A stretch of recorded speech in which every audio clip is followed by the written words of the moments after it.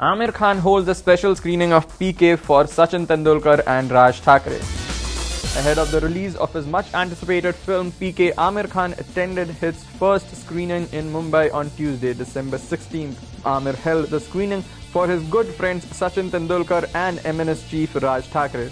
बहुत ही है और uh, आमिर को मैंने किया कि मैं ज़्यादा कुछ फ़िल्म के बारे में स्टोरी नहीं बताऊँगा मगर ये ज़रूर कहना चाहूँगा कि आप चाहे फ़िल्म देखें क्योंकि इट इज़ कम्प्लीटली डिफरेंट पहली बात तो ये है कि फ़िल्म बहुत अच्छी है। जैसे हर वक्त राजू हिरानी जिस तरह की फ़िल्में एक अलग फ़िल्म बनाते हैं उसी तरह की ये फ़िल्म है। Actor along with leading lady Anushka Sharma and director Rajkumar Hirani who were in dubai to promote their film hurried back to the city to make it in time for the evening show. Aamir, tweeted that he was most nervous that Sachin was watching his film.